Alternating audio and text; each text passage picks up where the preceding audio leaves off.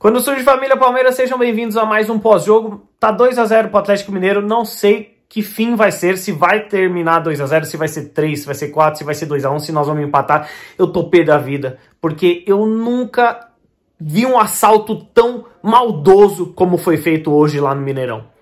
Uma cena lamentável, uma expulsão que não existiu.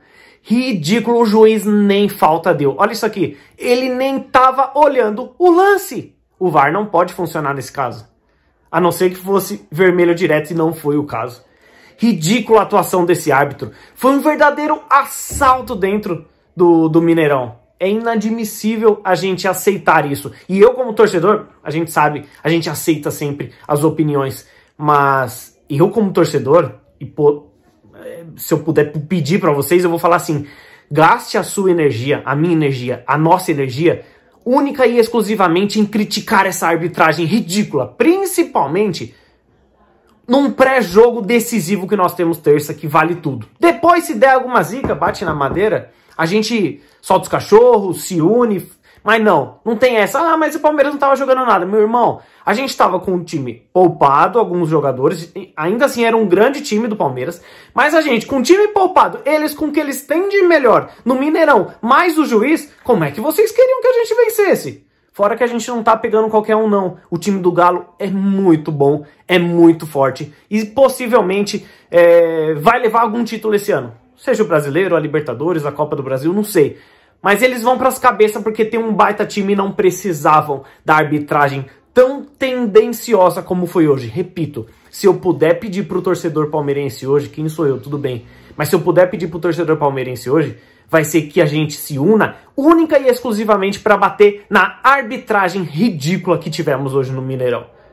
O lance do segundo gol do Atlético Mineiro, para mim foi um gol legal que é, aconteceu até mesmo a lesão no, no Everton, que preocupa, e, e, foi substituído. Gol legal, na minha opinião. Só que foi a mesma situação do, do Patrick de Paula.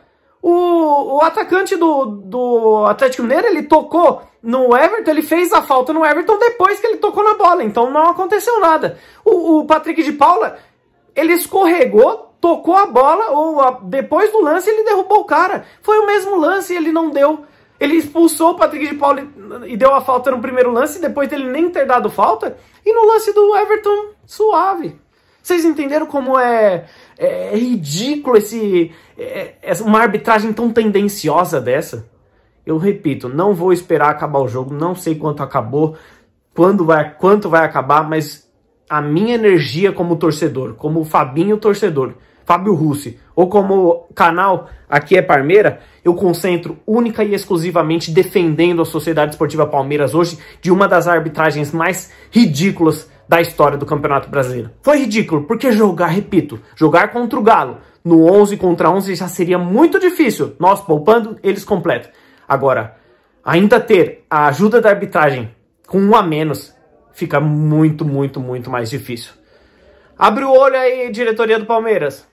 Eu espero que vocês cobrem de forma bem firme ao término da partida. Porque não satisfeito de expulsar o Patrick de Paula, ele expulsou o nosso técnico, o nosso auxiliar técnico e assim vai. Abre o olho, diretoria.